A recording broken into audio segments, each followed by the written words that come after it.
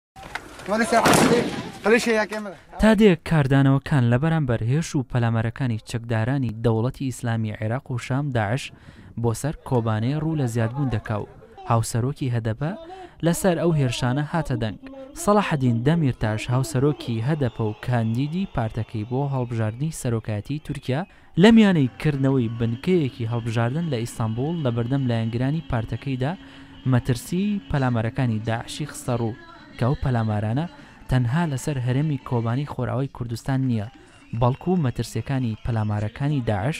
بۆ سەر تورکیاشە و دەشڵێت ئەگەر داعش خۆی بگەینێتە کۆبانێ ئەوا بێگومان پریشکی ئەو مەترسیانە دەگاتە ئەدەنە و مێرسین. هاوکات رەخنەی تووندی لە دەسەڵاتدارانی تورکیا گرت و وتیشی پێویستە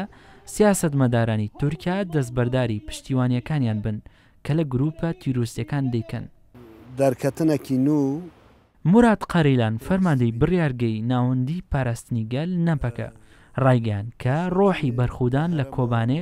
ڕۆحی داکۆکیکردنە لە شەرەف و کەرامەتی هەموو کوردستان. ئەوەشی ئاشکرا کرد کە داعش دروستکراوی ئەجێندا هەرێمایەتییەکانە و لەلایەن ئەوانەوە پڕچەک و جبەخانە دەکرێت، بۆیە وڵاتانی هەرێمی لە هەوڵی مەزنکردنی دەسەڵاتی ئەو تاقمە نەگریسەدان چ لە سوریا و چ لە عێراق کە ئێستا لە ناو شەڕێکی مەزهەبیدایە. ئەو لێدوانانە لە کاتێکدایە کە پێشتر ئەحمەد تورک گەورە سیاسەتمەداری کورد لە باکوری کوردستان ئەوەی ڕاگەیان